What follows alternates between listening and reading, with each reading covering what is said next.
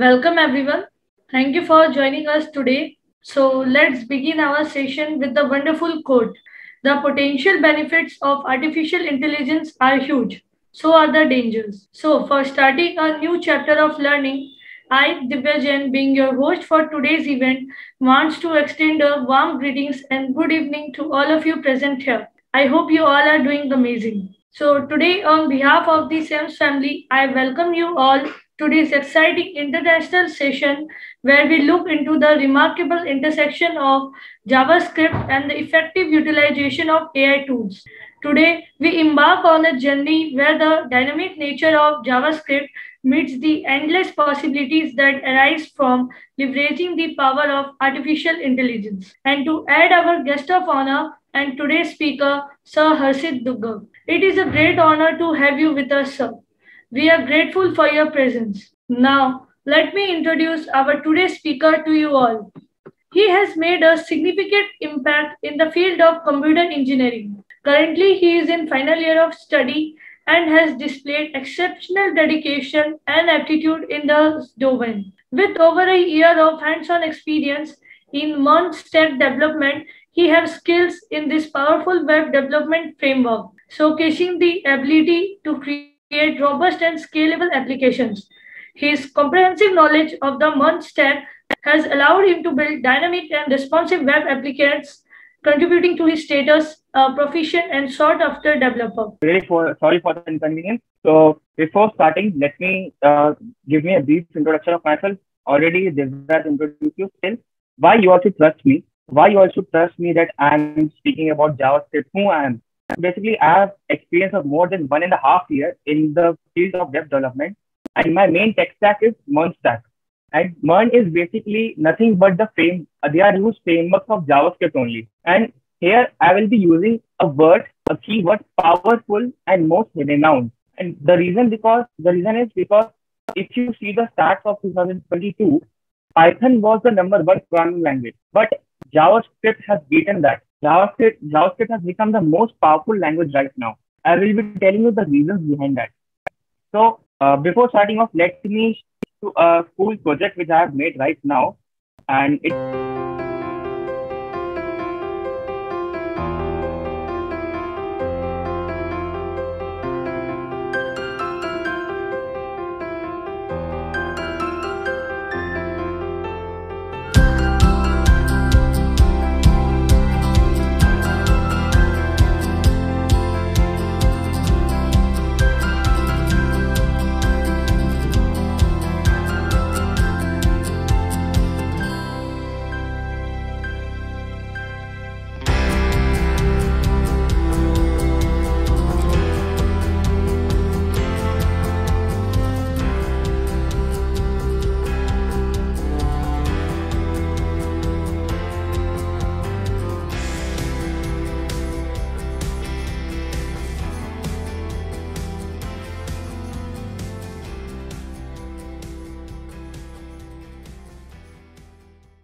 So uh, what I was talking that we will be talking about overview of JavaScript, why, why how I begin my journey, and how I taught how how I taught so many students in my community that how they should follow a proper roadmap, a proper uh, tech stack they should follow, and what at all they should know before moving forward with JavaScript. Okay, so let's start. Basic introduction.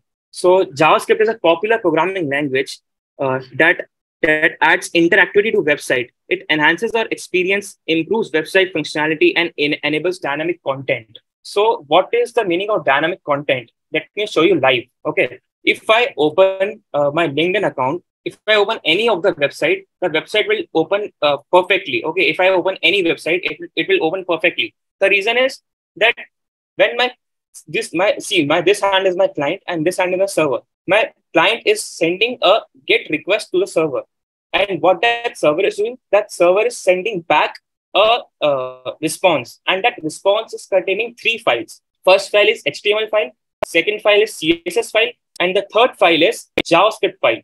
Okay.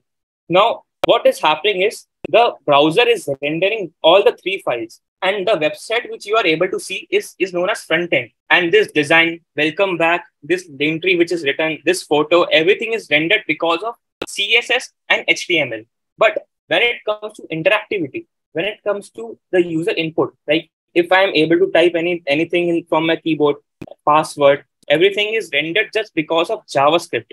Now, what will happen if I go to the site settings? If I go to site settings and uh, I disable JavaScript, I have disabled JavaScript.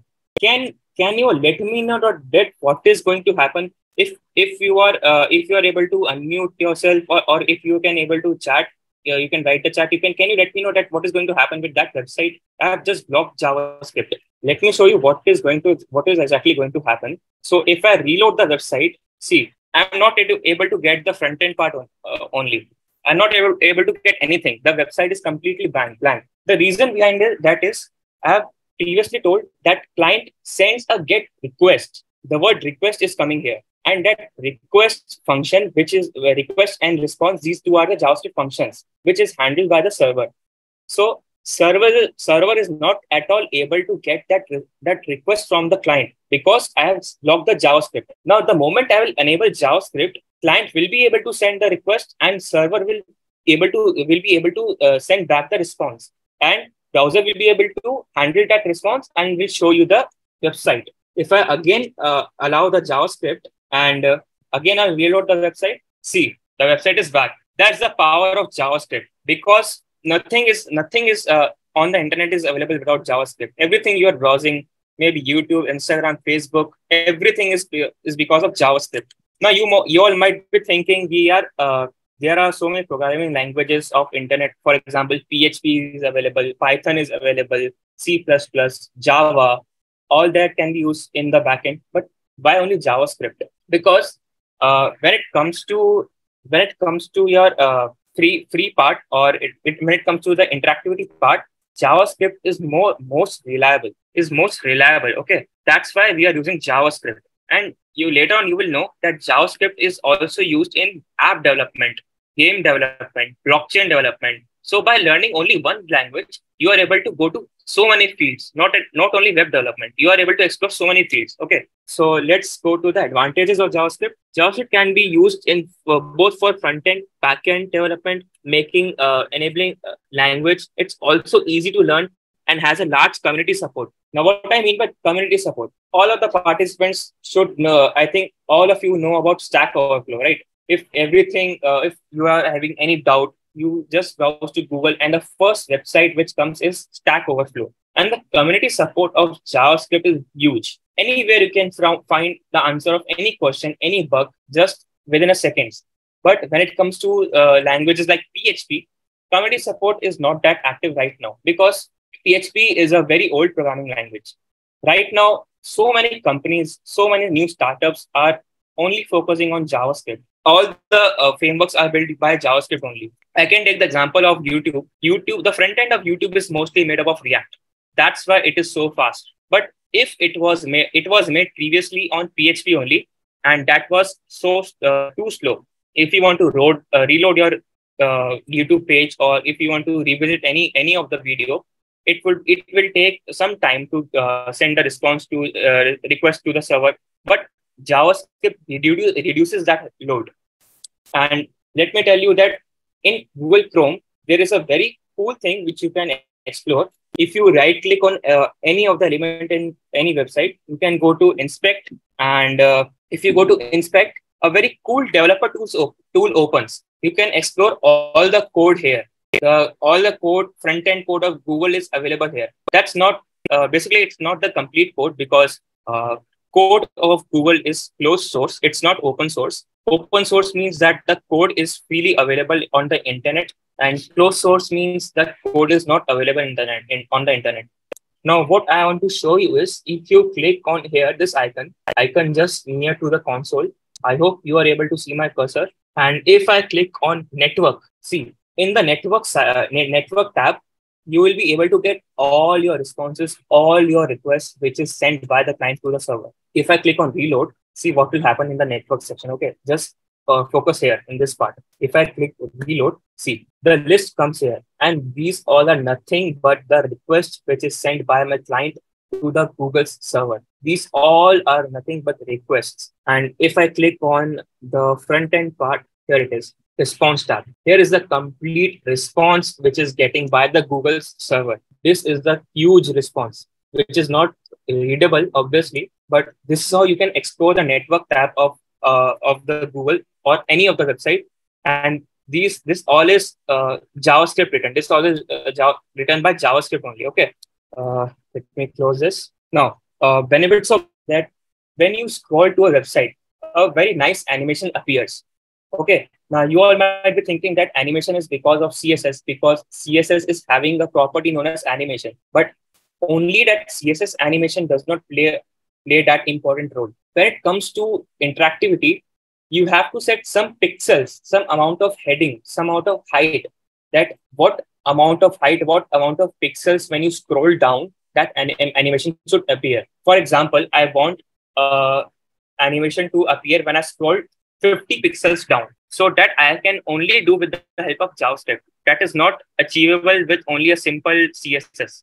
If I want to write CSS about this, I have to write uh, 10 to uh, 10 to 12 lines of code of css just to, just to achieve that functionality but through javascript i have to only write two lines of code and increases website functionality and user experience it has very less server load as i've already shown you in the network tab the load of the server is very less because of javascript. It handles the server request and response very easily because there is a method known as fetch. If you know uh, don't know i don't uh, know that i will tell you later in this uh, in this session only about a fetch method. Fetch, fetch method is used for apis that actually gets the response and shows you the exact data. That is because of fetch api now uh, we'll know about the real world applications and uses of different field in javascript. Okay so now first is web development second is blockchain development next is game development app development and automations. Now let me discuss one by one all of these. Okay,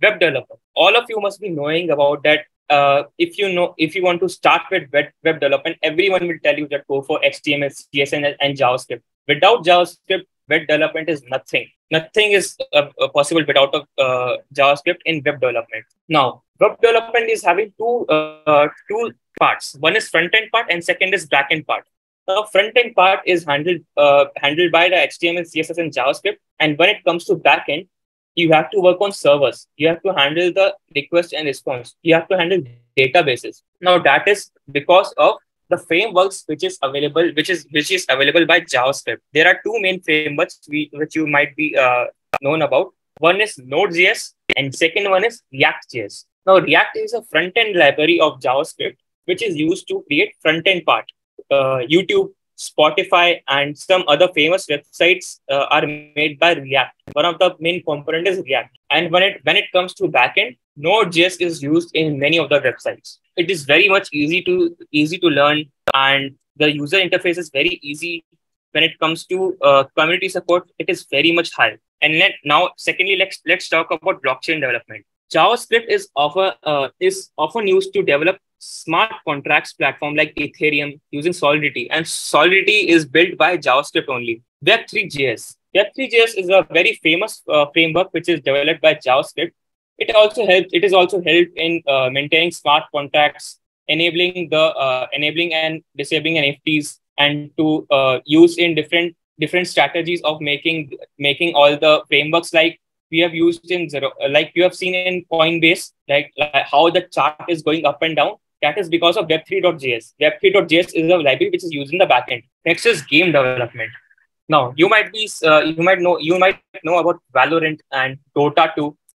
Okay, now their graphics are so much high, very nice graphic because the physics which is used uh, to implement the physics which is implemented is because of uh, of uh, some of the famous libraries like float.js is a very famous uh, library which you can learn and uh, there is one more library which is called uh, Flute, uh, if I'm not wrong, Flute.js. It is a very famous, famous library which is used to implement those uh, those those functionalities. Now, JavaScript is uh, used as a primary programming language in many ga- game engines. Now, you, you might be you might have been playing the that crocodile dinosaur game in the Chrome when when internet is not there, right? It is very fun to play. That is also built by Java. The speed which increases constantly and uh, the score which is counted that is all made by javascript all the web apps like Flappy Bird, which is uh, which is very famous right now. Every developer is making as a project Flappy Bird. It's all made by JavaScript. Next, let's move, let's move on to app development. Well, this is the most in- interesting part, which I'm also inclined towards right now, is app development. Right now in industry, there is a high demand demand of two major technologies. One is of a full stack developer, and second is of an app developer. Now, uh, apps can be run on two different platforms. One is iOS, and second one is Android. And for iOS, you have to you have, you should be knowing Swift, and for Android, there are so many uh, popular languages like Kotlin, Flutter. But why I'm focus why I'm focusing on JavaScript? Why so much emphasis on that? Because if you learn JavaScript, you will be able to master React Native. Now there are two libraries which I'm going to tell you. Don't be confused. One is React.js and second one is React Native. React.js is only used for web development. It is not used for app development. And second is React Native. React Native is a is React Native is a language which is used for app development. Now, if you learn JavaScript thoroughly, which are all the topics which I'm going to tell you right now, if you learn all the topics thoroughly, then it is very easy to for you to go for React Native, and you can develop both iOS and Android applications by only one language, which is React Native. You don't need to go for Swift or Kotlin, Flutter to make apps you can go you can only learn one language react native and you you are good to make uh, mobile apps and you can publish it on app store or google play store. Now the time to learn some uh, javascript it is a let me give you some basic syntax overview. So, so basically variables are declared by, like this var let and const. There are these are some keywords which are which are used to declare the variables. And if you want to print anything in the console or in the screen known as const which prints whatever you want to print okay? And here is again console console.log hello and let x is equals to 1.4 let b is equals to name. Let me share show you live. Now uh, i want you all to please have a paper or you can type in your note and will use some basic syntax uh, how you can go how you can learn javascript and how you can run it on different different systems okay so there are two main methods from where you can you can run javascript. Number one is, you can go to your uh, developer tab and if you click on console uh, hmm, in the console you can learn uh, you can run javascript. Okay if i write con uh, console dot log hello. It will run here also. And secondly, you can run you can run JavaScript in any text editor. Right now, I will be using VS Code. You can use Notepad, or you can also look Sublime Text or uh, Sublime Text Editor or uh, uh, like Atom. Okay, I will be using VS Code.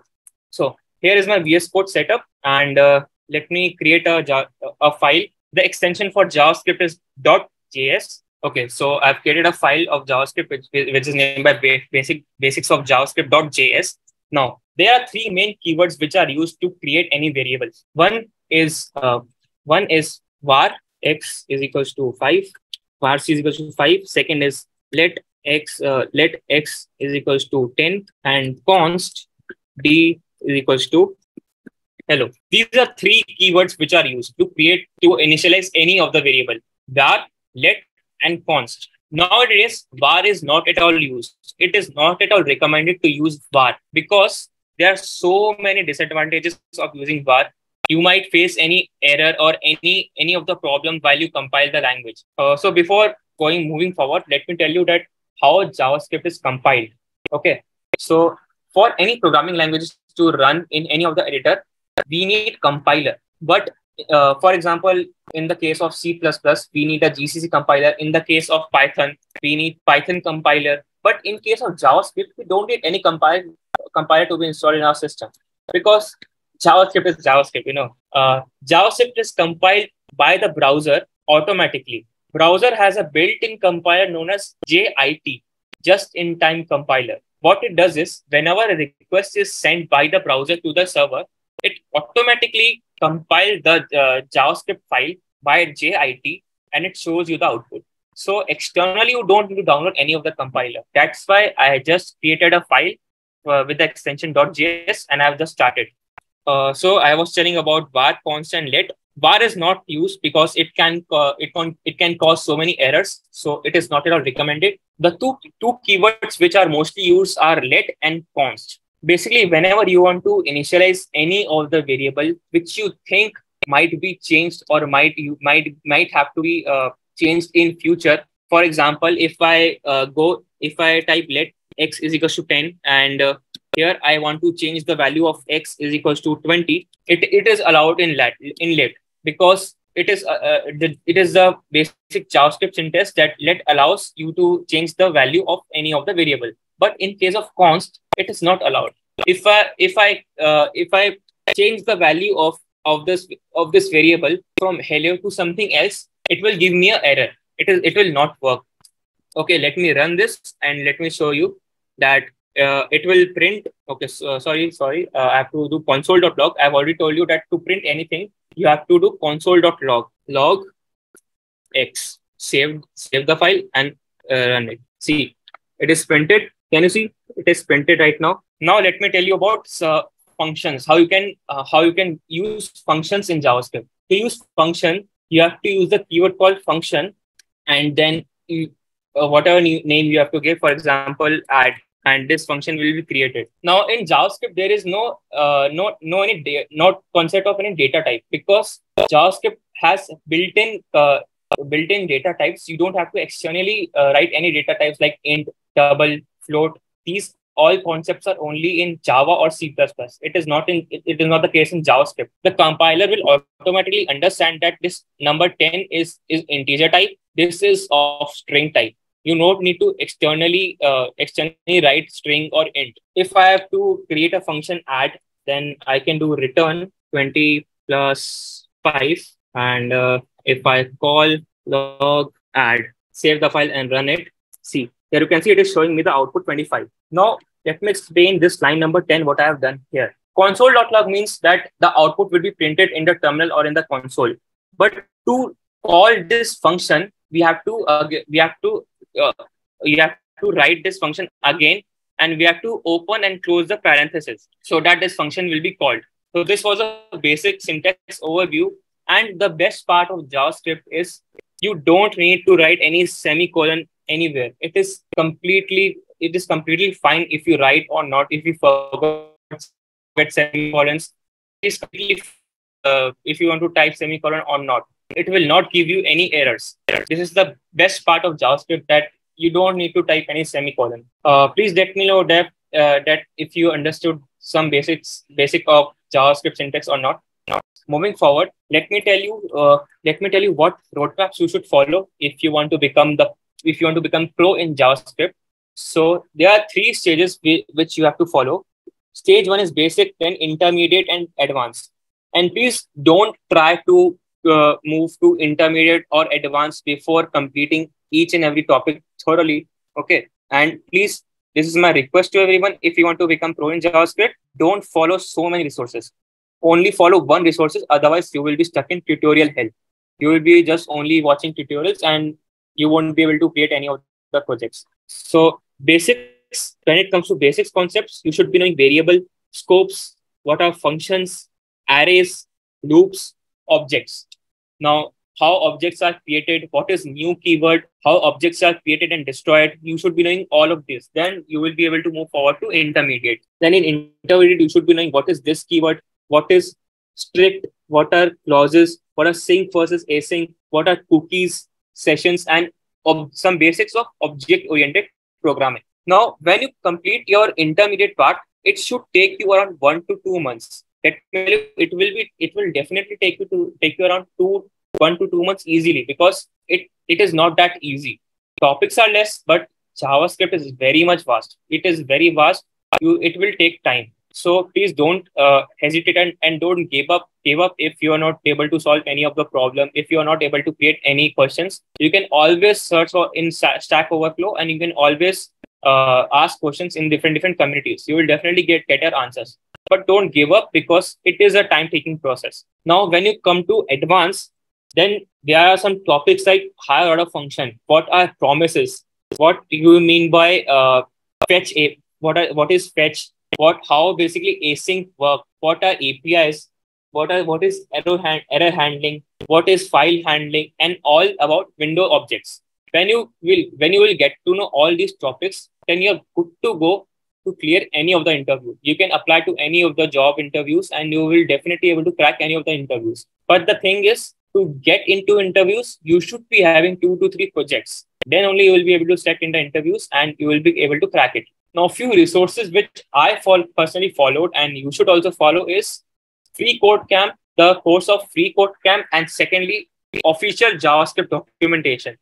Don't need to you don't need to go for any other third uh, third resource because there are so many channels available in YouTube. Uh, Code with Harry is available. There are so many like uh, Code Vita is available. JavaScript Made Easy is available. But if you will go and find so many resources. You will go to uh, this video one second video. You will be completely stuck in tutorial hell.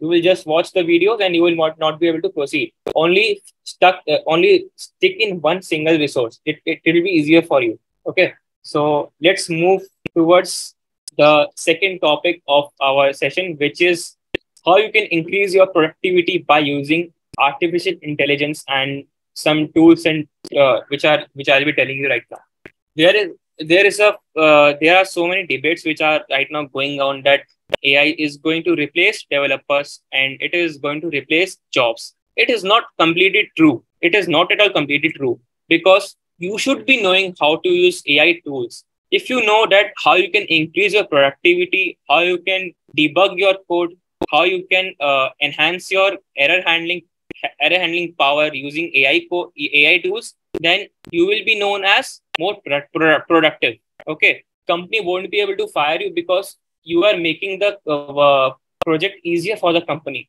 Then they won't be able to fire you. Some of the uh, best tools which I personally use is Synthesia. Synthesia is a uh, is a uh, AI video editor and video maker which I use for my community. Second is Jasper.ai, which is used to create content. Then third is Simplified, Tome.ai. Tome.ai is used to create uh, popular presentations. Okay, if you want to go for if you want to pitch any of your any startup idea or any of your college uh, college project, then Tome.ai is the best tool. Just by giving two to three prompts, you will be able to create a whole presentation. Next is Locofy, Hashnode AI. If you are into technical blogging, it is the it is God for you because I I uh, I have written two to three blogs on Hashnode using Hashnode AI only it enhances my productivity. If I write two to three prompts, for example, I want to write a, a blog on React, then I will just write uh, how to use, use use effect in React, and it will in response it will reply me uh, within two to three paragraph of the whole blog, and I can just read that blog, make some changes, and good to go. AI has done some changes. I'm not. I've, uh, it has increased my productivity. Next is Notion AI. Notion, everyone has, uh, everyone should use Notion. It increases the productivity. I'm also personally using Notion uh, to for my day to day to day projects to main, uh, to see my daily tasks and to manage all my projects which I'm currently working on. And Notion AI is helping me a lot. It is helping me a lot to manage my day, all my tasks. It is all managed by Notion AI. Next is Luna and Replit. Replit is a, a online compiler basically which is which is used to which is used to do directly code on internet. You can code on javascript you can do run codes on c++ python anything on uh, now let me show you uh, some of the some of the cool uh, ai tools. Like i'm using simplified right now. You might be uh, you might be hearing so much from in, in news that community managers uh community man- managers are using simplified because the whole community need only one community manager. Only one community manager can handle everything For everything. Uh, one community manager can handle your social media one community manager can handle your blogs all your instagram posts all your linkedin posts or your twitter everything can be handled just by only using one account. Uh, let me it is just loading. Okay. So here is my simplify account and you can see that uh, i can create I can create any of the uh, blog, LinkedIn posts using simplified AI. And if I want to, if I go, I just I, I just have to write only two uh, one prompt line of line that create a blog on this and that uh, this and that topic. It will create create all the blog including the photos with just only one click. Like generate with ai schedule a post. Everything can be done using one simplified uh, tool you know don't need any community manager any social media manager for that. You just have to schedule any post uh, for instagram or linkedin and you are good to go. The whole calendar is available. Schedule uh, for any time any date or time. What is your what will be your caption for that linkedin post or uh, or twitter post? You can write here and you can also use these ai tools which is available uh, in simplified itself and it is very much easier liquid okay it increases the productivity at max uh, so let me go to uh, one of my most famous tool which i use is hashnode ai which i was telling you if you are if you are a tech enthusiast, you should you should definitely be on Hashnode because Hashnode has Hashnode is having so many blogs, so many good articles to read.